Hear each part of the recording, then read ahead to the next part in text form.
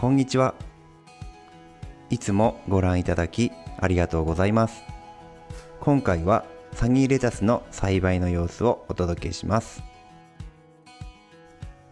9月25日、サニーレタスの苗をプランターに移動します。水やりはたっぷりと行います。優しく植えていきます。昨年に引き続き2回目の栽培です。今年もうまくいきますように。最後にも水やりです。しっかり根付くかな。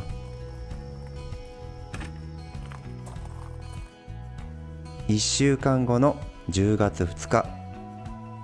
うまく根付いたようです。葉っぱに虫食いがあったので青虫をチェック。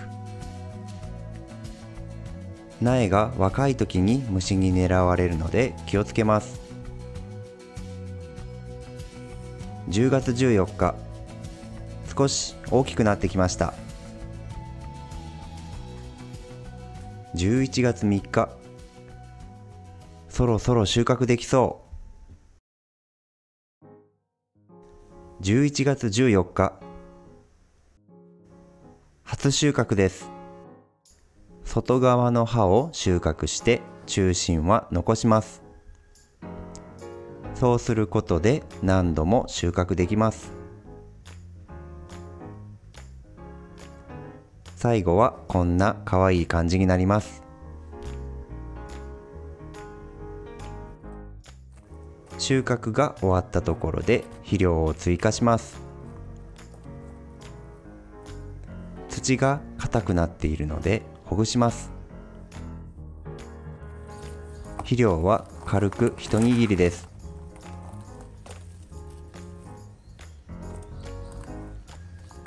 しっかり土と混ぜます。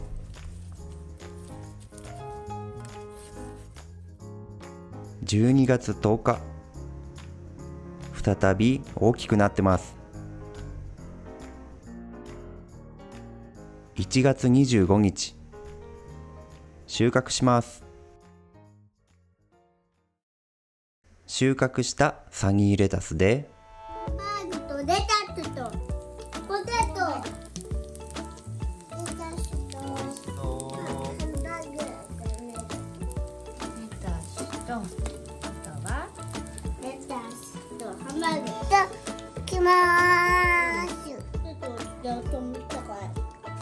おいしいようん。うん。